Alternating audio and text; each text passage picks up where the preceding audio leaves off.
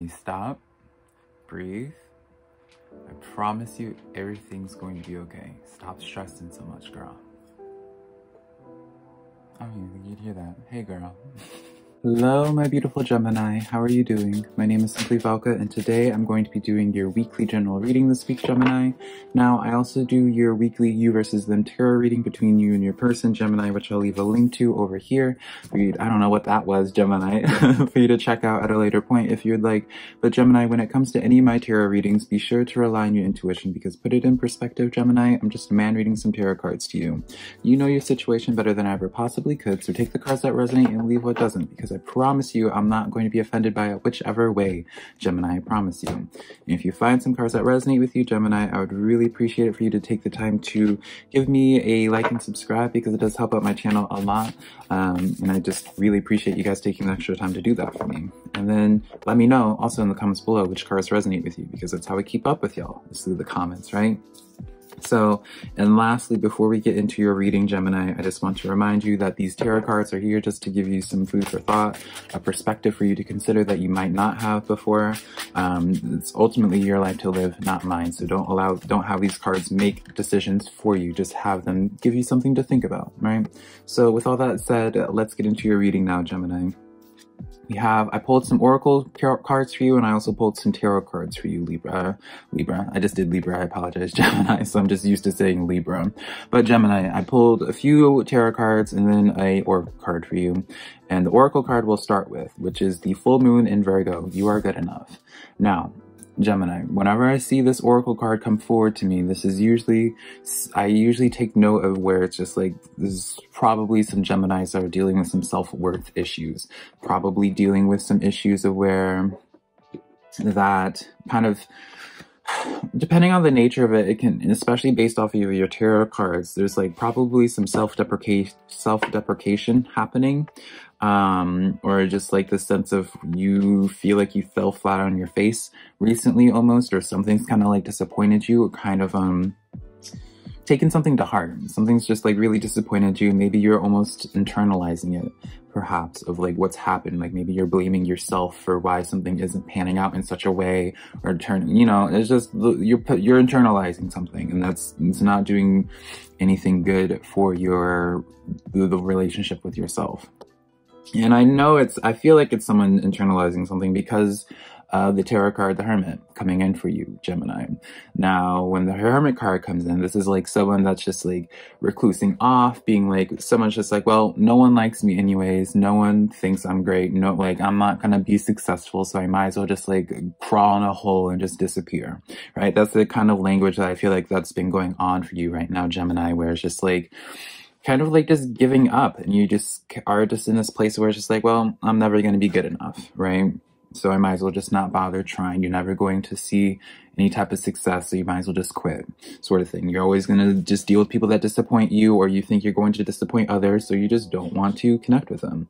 Am I stepping on your toes yet, Gemini? Um, and then this is where the beautiful cards come in for you. Not that these other cards weren't beautiful for you, but we have the Page of Wands coming in. Page of Wands is like a new, um, like a new focus almost. This is someone that's feeling a little bit more reinvigorated.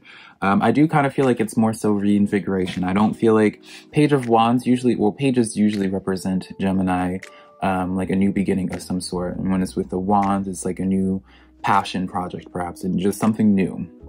Now, I see this more so as like you just being like your spark being re reignited almost. And I say that because of the sun card coming in for you, Gemini. The sun card is the best card in the deck. The sun card is like exude, exudes positivity, exudes abundance. It just exudes all things just positive, really. And I feel like the sun is what like reignites this page of wands for you. Now, we'll see in the tarot cards of things why this is, like what happens for this to cause this. Actually, let's let's just pull a couple cards actually, just to see. See if we can get a couple more like clarification before we um some clarification rather before we get into like the nitty gritty of your tarot cards. Gemini. So I pulled Eight of Pentacles, Six of Pentacles, and the Wheel card for you. The Wheel card is why. Uh, I really feel like this, especially with this Eight of Pentacles, there's something that you've been studying or something that you've been putting some work into, something that you've been investing some time into for a while now, Gemini. And uh, it's probably you've been in the state where it's just like you've been sinking a lot of time and energy, a lot of emotion, a lot of feelings, a lot of blood, sweat, and tears into something. And you may have just felt like you haven't gotten the payout that you feel like you should have, right? So it's been in this place where it's like, yeah, you've been internalizing it a little bit and just been a little bit hard on yourself, a little bit critical on yourself, perhaps, Gemini, but you still using that to motivate you to do more, to push yourself more. And it's not a bad thing at all, right? It's always good to try to improve yourself because we're not perfect beings, right? We always are trying to elevate ourselves. But just make sure the language that you have with yourself, Gemini, is coming from a place of just wanting to elevate yourself and not feeling like you need to do something because you feel like you're lacking. Does that make sense? You want to upgrade yourself just for the sake of upgrading yourself. You don't want to upgrade yourself or improve, like whatever, with just because of the thought process that you feel like you're lacking in some way, because that's not the case. And the wheel card comes in. I just kind of feel like things just start like start working out for you properly.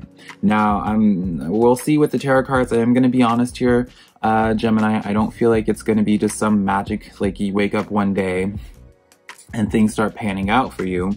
But I do get this sense as long as you continue like exuding this energy, right? Because this is where this is like that sun, the wheel starts turning in your favor. All those positive cards only happen if you continue on with this energy of continually challenging yourself, educating yourself in some type of way, and continuing sinking your energy into something.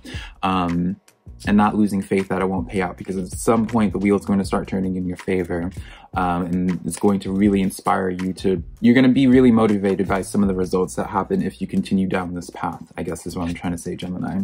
So just with all that in mind just watch your self-deprecation language that you have with yourself watch even like with the people that are around you gemini make sure that you're around people that help elevate you that make you feel empowered rather than feel like it's your fault right? Maybe that's what's going on right? Maybe you're not even having self-deprecating nature and you're just around crappy people that don't make you feel good. Um but yeah, now Gemini, we're going to get into the tarot side of things for your rows. So I'm going to be doing your first row for my Geminis interested in their finances and career, second row for their social situations, my Gemini, and then the last row is just some final closing thoughts with tarot. Um, so I already pulled the tarot cards for your career and finances. I guess we pulled four for you, Gemini. So let's break this down. I've been talking so much and it's just, I apologize, Gemini. So we have the chariot card coming in. Beautiful to have in your finances because for fast forward movement, things are starting to going to start paying out for you pretty soon, which is why you want to continue exuding this energy right here, Gemini. Three of discs. So definitely you're not working alone in this, some type of collaborative energy. Maybe even Gemini, you're being pushed to collaborate with somebody. Maybe that's what it is that you need to learn from is to reach out to somebody or somebodies to do some type of collaborative project because it may be profitable. Or at the very least, you will learn what to do or like learn how to um like whatever it is through the experience with the person in that three of pentacles gemini you could probably take that experience and like at it for your own personal things, right? Whenever I say collaborative um, energies, it doesn't mean like this person's right there with you doing whatever it is, right? It could just be like sharing some thoughts, right? Shoot, like, you know, in the sense of just being like shooting ideas to one another. It doesn't have to mean in the sense of where like they're actively hands in uh, deep in that project with you. Uh, King of Swords comes out with a Nine of Discs.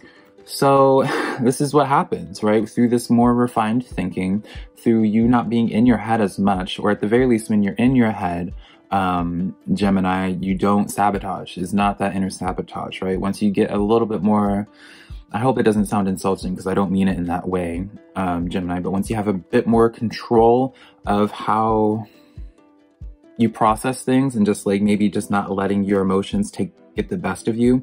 Um, you know, because we all go through those spirals sometimes, right? We'll go through those spirals and just really get into like a negative state of mind where it's just like start becoming like a pessimist almost, right?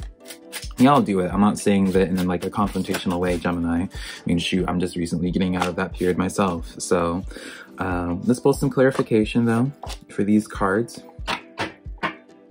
All right, so the Chariot card coming in with the uh, Page of Pentacles. So this is what's confirming it to me, uh, Gemini. Now, when I see the Page of Pentacles as the tarot reader, I always have to say, um, I guess I don't have to, but um, I do see this as like a person coming in. Like, I feel like if you were to connect this based off of your other cards as well, Gemini, I do just get this impression of if you were to communicate, have open some line of communication with somebody in some collaborative way, you would be really happy with the results and the results would come in pretty quickly for you, Gemini. I am going to be honest though, since it is on your side, we're not getting to the social situation yet, it's kind of up to you. I feel like you have to be the one to take the action especially with that eight of pentacles and six of pentacles it's all about like that self like it's this is not going to just be handed to you on a silver platter gemini. Not that i'm saying that you think that but just you know as a reminder queen of pentacles comes in with the three of discs. So this is, I feel like, the person. I feel like whoever it is that you could collaborate with kind of exudes that Queen of Pentacles energy. So what does that mean, Gemini? This means this person's probably a little bit more, I I usually never do this, Gemini, but like I do get the sense that they have a more effeminate nature. Doesn't mean they're female, right? Um, it just means they have a more soft, they have a more softer, they have a softer way of speaking. They have a softer way of how they present themselves. They're probably just one of those types of people. They would be, this is going to be such a random example, but the best way I can uh, attribute this kind of person would be someone that is just like that just has like the they do everything by themselves probably. And they're the kind of person that would just you would just see them out in like a flower field just like humming to themselves completely content with themselves right? You're probably you would probably see this person as someone that has like a lot of because it seems like this person um seems to be pretty stable and especially with the three of discs or three of pentacles it always talks about putting someone on a pedestal. You might see this queen of pentacles. You might see this person as someone that wouldn't care to like connect with you or wouldn't be interested in collaborating with you. Um but you'd i feel like again if you would be surprised if you were to go out in that flower field where they're just kind of being a little bit of an airhead um, in their own world not being like in, in an insulting way reach out communication you'd be pleasantly surprised by the results of it and the Hierophant coming in with the Nine of Discs. This is you just tapping into your higher self, honey. Uh, Gemini, this is you, me letting you know that you have the potential already. And once you tap into, further tap into, this lets me know like, you know how I was talking about Gemini no longer having that self-deprecating nature. You only have that self-deprecating nature because you don't fully see yourself as how everyone else sees you, right? Maybe you don't even want to communicate with somebody, Gemini, in terms of your work or even ask for that raise because you feel like you're not a valuable asset. But once you realize you're actually a valuable asset, like that's when you start seeing some beautiful things. Uh, Four of Pentacles comes in as the clarification for the King of Swords. So more so, again, just really honing in on the message, Gemini, of once you just get your mental um, a handle on your mental um, states and like how you process things and just more not reacting, I guess. Gemini, taking the emotion out of it, getting out of your, really just getting out of your head. Um, that's really when things start working out for you really well. So beautiful start for that, uh, my Gemini. So let's get some tarot cards uh, in regards to my Gemini's social situations this week. See what's up with which cards. Are we taking these though? Are we taking these? I guess we're taking these, honey. Don't mind me having a conversation with myself, Gemini. Y'all are just getting a lot of tarot cards in your reading. So we get into your social situation, which just based off of the complexity of these cards, lets me know that this is a, ugh, honey, let me get into these cards so I don't get you anxious. Four of discs comes in, Ten of Wands as well, as well as the Ten of Swords. Uh, so we'll address these before we get into your other two. Tens I always associate with the closure of a cycle.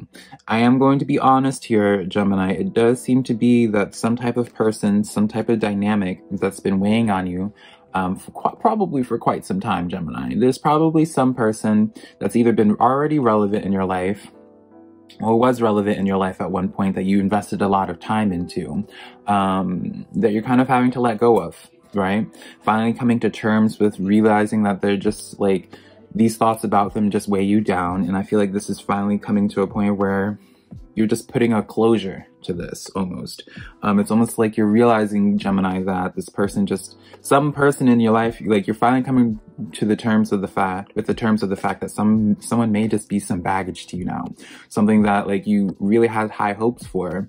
Just, you're finally just realizing you're just accepting the fact that they're just not for you. They're not really just, just no matter how hard you try, no matter how much energy you put into it, it just isn't worth it to you. Just weighs you down more the Knave of Swords with the Seven of Wands here.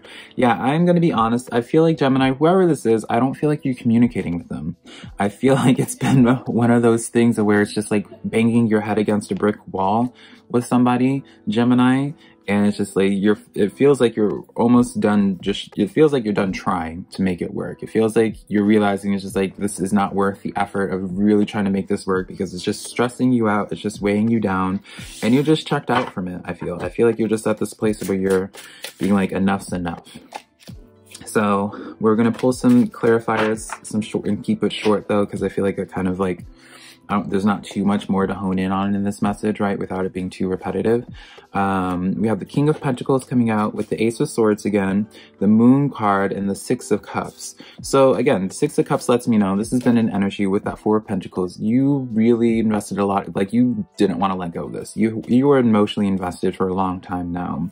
Um, King of Swords or King of Pentacles with this Ace of Swords comes in I see this just as you. I feel like, especially with this moon card, you just like, you get like a wake up call one day, whether it's just through you processing things or through like the action or lack thereof action through somebody, you kind of just realize you, you're just like, you know what? You need to like you're going you're this isn't providing the stability that you're craving so you're going to move on to a new direction. So definitely for my geminis that have been like tossing around having some type of closure with somebody in their life um, it seems to be for the best of their seems to be for the best gemini. So and i kind of get the sense that it would be more so like you would already know who this person is gemini. Like you would are you already are having these thoughts before i even say anything in the reading so let's get some final thoughts now for this reading uh, for you, my Gemini. We have the Two of Discs coming in, the Three of Cups, as well as the Hierophant coming in following you again. So really this push for you, Gemini, to really look yourself in the mirror. I really just feel like a lot of you Geminis are not seeing how beautiful you are, seeing the value that you bring to the table. Um, and so there is just this constant push of tapping into yourself a little bit more, tapping into just being nicer to yourself. Truly. Um, I feel like once you, it's like, because I feel like part of the reason why the social situation is what it is is because you don't value value yourself in the way that you should. You feel like you accept behaviors that just really aren't that will uh, lovely in your life. They're not that lovely. You accept it because it's like you feel like you don't deserve any better. And I feel like once you actually do realize your own potential, realize what it is that you bring to the table, you kind of are done juggling a whole bunch. You're done trying to manage things that just are not for you in your life because you no longer are feeling like you're doing something wrong. You're kind of just realizing that it's you know, could just be things just aren't working out anymore. It could just be the fact that it's like, oh, like it's a two way street. It takes two to tango, right? And I think with this Three of Cups, you're kind of just coming to this realization of where it's just like, things that are meant to work out for you are going to work out for you. Things that are not are not. You know, you can't, you, all you can do is invite someone to the table. If they don't want to take you up on that invitation and sit down at the table, it's not your fault. It's not you're the fault of the party. Nothing to do with that. They could just not want to be part of that table. And I feel like you're just realizing it and you're having that sense of closure. Right? Such a week. I feel like Gemini, you're really going to um, discover yourself. So I'm really excited about that, Gemini, but that's the reading that I have for you. If you enjoyed this reading, be sure to give this video a like and subscribe, and then share my videos with a friend that you think might be into my messages. Until next time, though, Gemini, I love you so much.